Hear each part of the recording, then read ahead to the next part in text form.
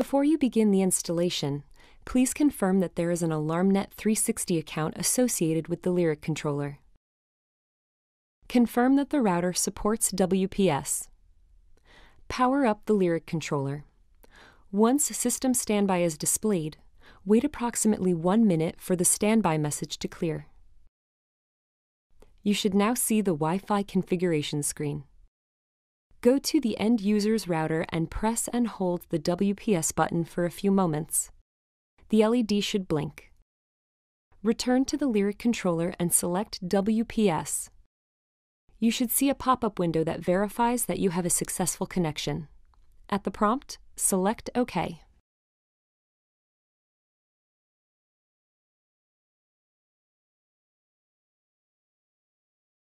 From the home screen, select Security.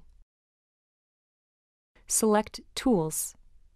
Then type in your installer code, 4112.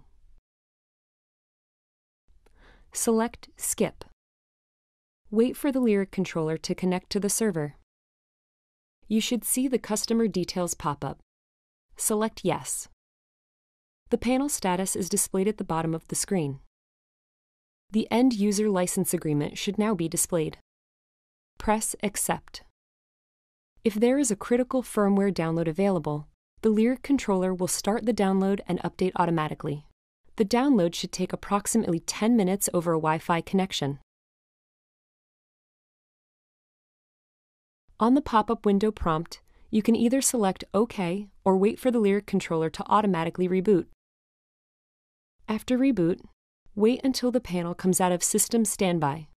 This should take approximately one minute. If the Lyric controller is not on the home screen, press the Home key. Select Security. Select Tools. Then type in 4112. You should now see the AlarmNet 360 data screen.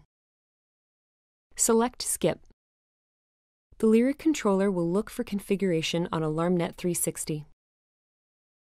You should see a pop-up to accept the programming configuration. Always select Yes. The Lyric controller configuration is now downloading. It will take approximately 3 to 5 minutes over a Wi-Fi connection.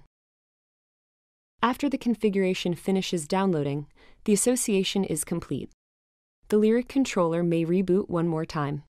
You may continue with any additional panel programming at this time.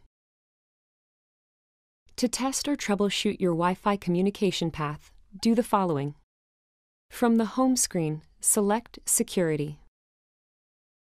Select Tools. Then type in 4112. Select Program.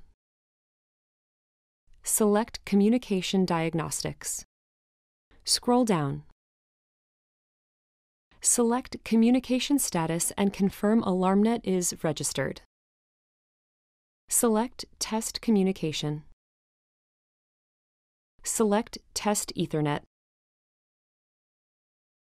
If successful, you should see Service OK from the three redirectors.